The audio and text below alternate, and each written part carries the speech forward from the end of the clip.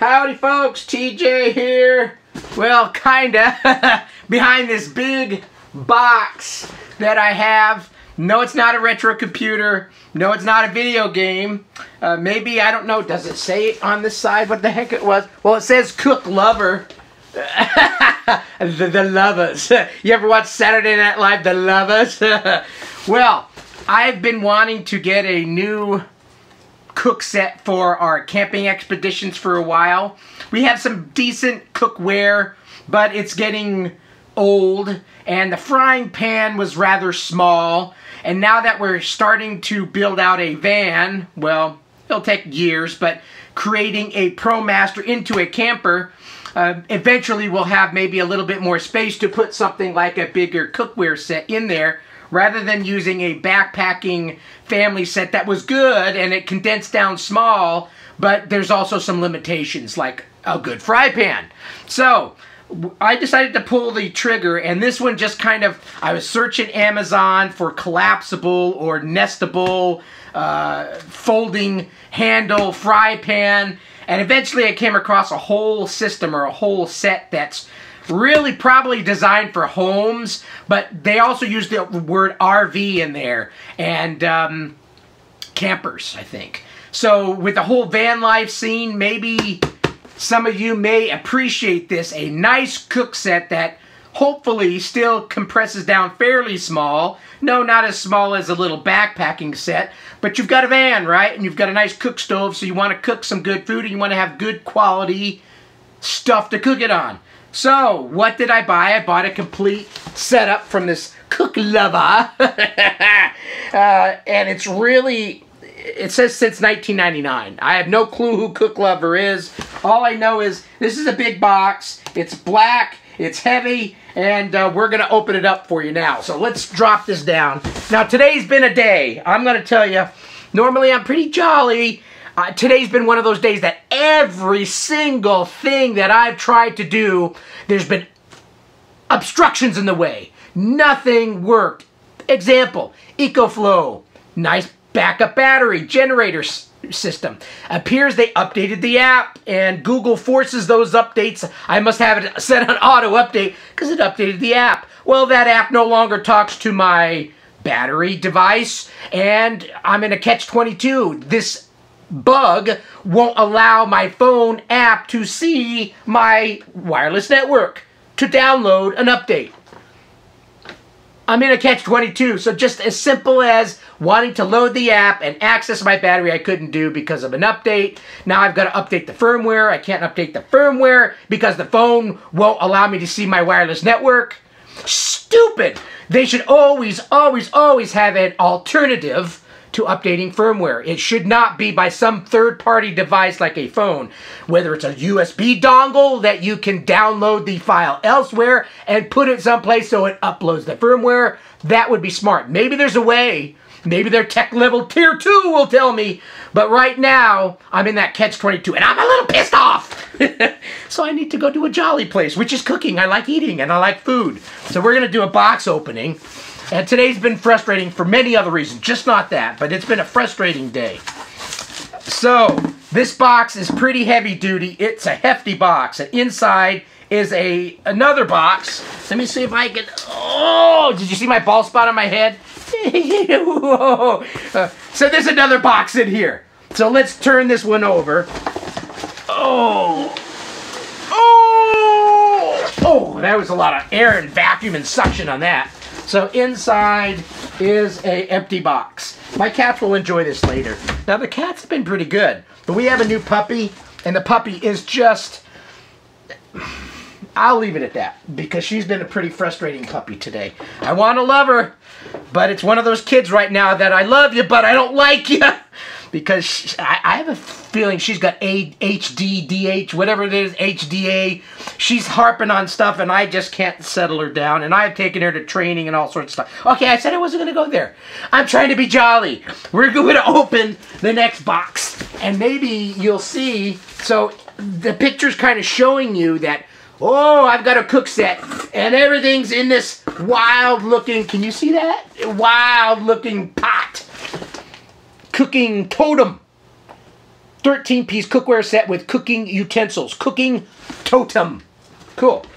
The rest of the box kind of shows uh, about the same. Well, this box shows a little bit more. This side. Looks like it's showing some of the utensils. Hopefully this is picking it up. Let's open this up. I'm gonna have saliva all over myself. I got a couple mustache hairs too that tickle me. I think probably not a good idea to make a video when you're amped up. Maybe that's why my dog's amped up because I'm always amped up. I should be a really skinny man. I'm I I, I always get I've always got stuff going on and uh, okay. Are you done with these scissors yet? So you can't see what I'm doing, but you can see my balding head. Oh, the top of the box looks nice. So let's, I want you to get the experience. So inside's a nice glossy cook box.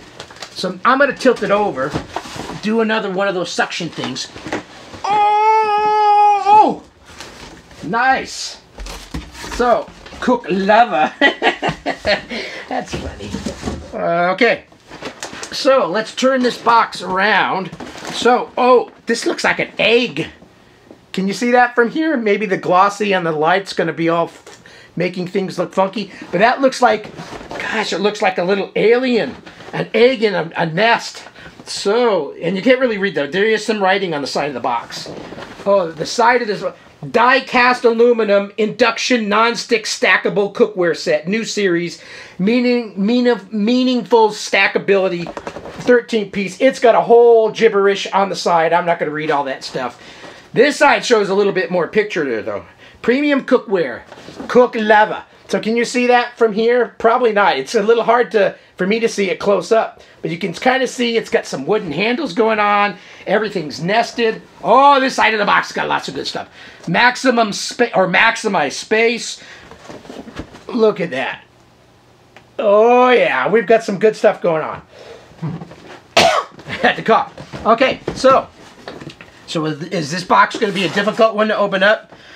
You can't see. Okay, no, no, it's it's going easy. Nice as smooth as butter. The first thing that went smooth as butter today. Even my butter wouldn't spread this morning. Trying to put it on the toast. The toast wasn't getting hot enough. Certain breads just don't maintain heat too well. today is today Wednesday, bitch Wednesday? No, it's not. I shouldn't be bitching. Oh, so I'm opening this box. The box you kind of saw. Oh, so right off the bat. Oh, look at some of the cool stuff that I've got. It's got some mittens. What look like cook, and it says Cooklover on there. Uh, maybe tonight I'll just have this on only, just a couple pairs of gloves, and say, "Honey, you want to come in the room and cook?" oh God! I'll stab your eyes out now, folks. Stab them out. no, don't do that. Don't do that. Don't do that. Okay, so we're gonna pull out the little gloves here. I've only, and watch, the camera's gonna end up stuttering because it's too hot in this room. Let me go turn on the air conditioner. Maybe that will help. Un momento. Maybe I'll have to pause this video because I think I've only got, I can't get out of the room. I'm just gonna keep going in the heat. I tell you, today's just a, a gibberish day. So the gloves, so look at that. They're like those Teflon gloves, rubberized, so you can just grab stuff that's hot. So that's cool. And then there's like a trivet thing, rubberized trivet thing.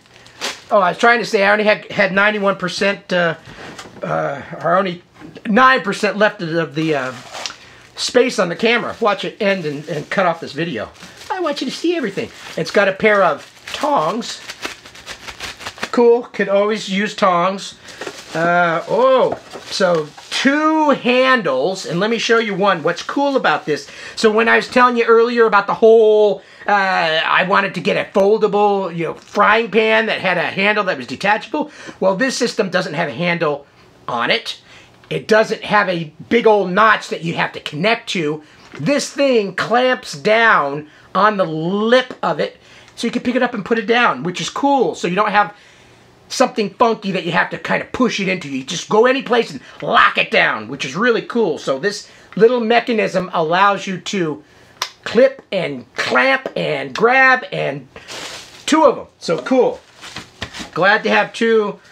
A lot of times when you're going cooking and have backpacking cookware, you've got like one little handle that you have to swap between everything. So two handles. Uh, this looks like just some cord cardboard that they folded to maybe protect these during shipping. I don't know. That's kind of weird. Okay. Ooh, corrugated. Uh, no, styrofoam. Oh, the eggs in here. Oh, there's all sorts of stuff. Okay, pull out the. Oh, oh, oh. I'm working up a sweat. It's getting hot in here, folks. Probably because of that whole TJ just wearing those mitts. oh, okay. So in the bottom of this box, there's just a whole bunch of little styrofoam that's all falling apart. So it's going to make a mess. So let me put this box. I don't have any more room. Oh, I'm, I'm closing myself off. So this is the size. So you can look at my head, and this is the size of this. So it's not really small, small. It's going to take up some space, folks, but it's it's going to take up this amount of space. So I think I can find a nook and cranny in my future van that will allow this to find a home. And I could always remove the top of it and store some of the other things elsewhere. But needless to say, there's some straps on here holding everything together, probably for shipping, for transit. And so we're going to take this apart. I think I'll stop the video right here. We'll take it apart and I'll show you the separates. But yeah, it's got some heft to it, but it is still fairly light at the same time. And again, here's the size of my head, and here's the size of the, the setup. This is the amount of space that you need to find in your van, camper, Volkswagen, whatever, to find a home for it. I'll find some home. So, let's stop the video there. I'll figure this little thing out a little bit more, make sure I got room on the camera, and then we'll show some of these components, and then we'll call a wrap on the video. Then I'll go get a little bit of a drink, because I need one right about now. Ooh. All right, I'm back. I turned on the air conditioner. It was 82 in here. It's getting hot. Probably actually in this room, probably more like 83 or 84. But out there, it's at 82. So, on the top of this is some straps. Um, I should have paid attention to how these straps, it looks like there's Velcro. Let me turn it over. Yeah, Velcro holding everything down.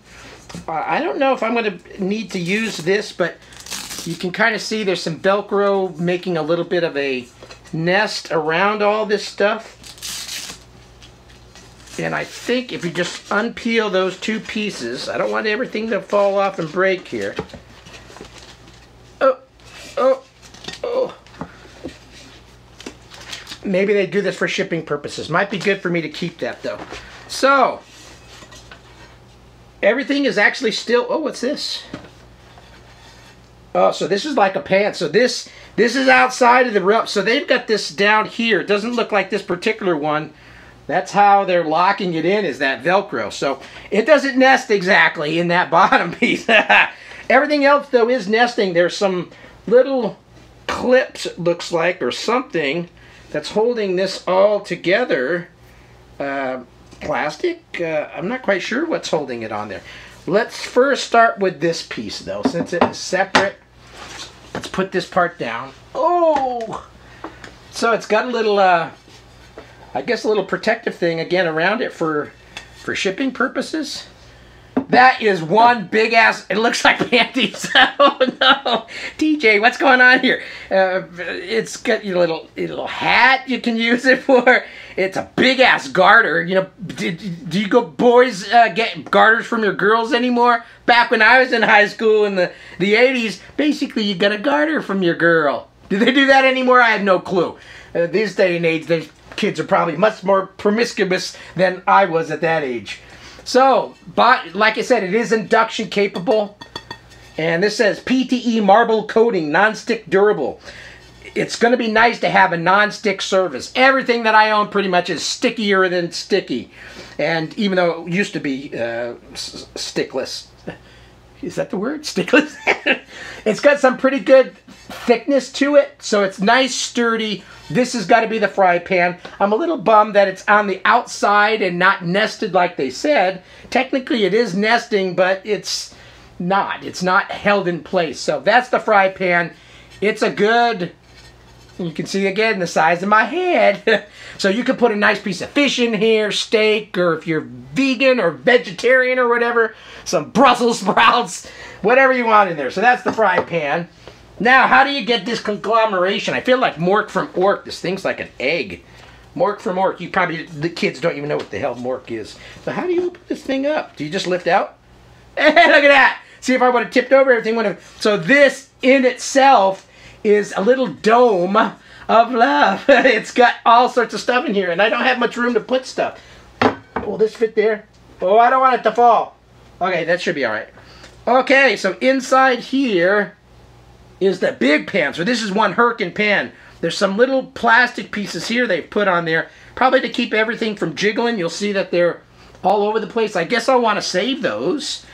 Uh, and inside here is some documentation.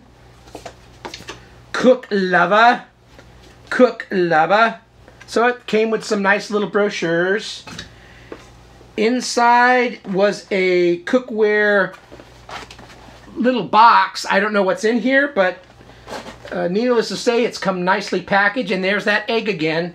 Where do I put this? I'll put this down on the floor. So the big pan, you can see, the big pan's Herkin. This can cook up some spaghetti, all sorts of stuff. Again, these little plastic things. I guess they're doing it for shipping purposes, but I don't know if I'll save all that stuff for later. We don't want it clanging around when we're driving. But this is one big pot. And it's got, this is kind of a faux wood, but it feels good, feels grippy, and I can see myself having some place to empty out whatever you're trying to empty out. Big old panella of peeny winkles or periwinkles, whatever you call them. Uh, that's a New England thing. So, okay, I got those things down. We'll look at that little box later. So we looked at the fry pan. So how does this part open up? Is it just, oh, it's it just, it's just getting a little bit of rubber here. So the rubber was kind of trapping this down a little bit. So this was a skillet probably or a little fry pan. But this is also a bigger one and it's got a little ringy-dingy-dingy thingy on it. And it's got the back for the induction, but this is one Herkin one. So, and it's got this cool, oh, can you kind of get a psychedelic effect here? It's got these rings going around, so probably meats and things like that that you don't want to stick. Uh, and you maybe want some nice little lines on your steak or something. Or if you're a vegan again, on your uh, eggplant. Yeah, I had to think of that one. So this is what I really, I wanted a nice big pan. And later on, I'll maybe have a video there and I'll kind of show how that little latch thing works. Inside here, so here's the big wok. This thing's a wok. So on the top of this, damn, am I hyper today. It's got a nice handle, so you can grip it. It's got nice silicone ring around it. I can smell the, the silicone here. And then here's the big wok. So I've got a big wok for stir fry and all of that. So again, there's a lot of componentry here. Now hopefully I can put this all back together again because I wanted it to be all nesting. Uh, so I've sewn the, oh, let's uh, show what's in this little thing. Maybe the utensils. So I, don't, I didn't count if this is all 13 pieces, but needless to say, it looked pretty complete. Oh, this is the little, the little cook, little uh, pots. So inside this box was this, and this is all factory packed still. And it's a little version of that. I guess I need to open this up if I can open it. Man, this thing's like air sealed. Where did I put my scissors? Uh, see, one of those days again. I just Oh, there's a pair of scissors. Nothing's right at hand. You know, you ever have those days that it just magically, you go like this and your tool of choice lands right in your hand? Today's not that day for me. Oh, this is giving me all sorts of, my hair standing up on this sucker. So, for cheese, cheese fondue, look at that. Awesome. So I just got to remember to flip over the lid so this all fits in there. Now, let's see if I can get the handle to work. And then we'll call this video a wrap. So let's pick the smaller pot here. I haven't read any instructions, but I kind of saw, oh, this one's also got a little lip for pouring stuff out. That's kind of cool. So let's see. There, there is a button here. Oh, so let it, oh, oh. oh, oh yeah, push the button. Push the button and that little thing opened up. Watch this. Watch. Oh, you push, push like that and then go. Oh, yeah. Okay, and then you push this down and then you clamp it and lock it. Oh, it's grippy. It's grippy. Uh, yeah. So your your cheese and stuff's not gonna fall off. This handle is pretty premium. I mean, this thing's locked on there. Awesome. This is really a cool set. A bit, a little bit bigger than I was thinking it would be, but at this point, again, it's kind of gonna be a great cook set for cooking on a camping trip. So how do you unlock this thing? Probably. Yeah, see, I'm pretty bright. Okay, that is the video. I've shown all the componentry pretty much. This handle mechanism, the rubber grippies, grabbing onto whatever pot you want and locking it down. Really nifty idea, very cool. And if we find this ends up being too big for camping, it was time for a good cook set at home. Maybe we'll use this here. But for now, we're going to try it camping. Thanks for watching the video. The thing I like the most is this big old wok. I wanted a wok for camping, and my dog needs to go for a walk tonight because she's driving me nuts. Okay, thanks for watching the video. Peace, folks. Have a nice weekend. 拜拜。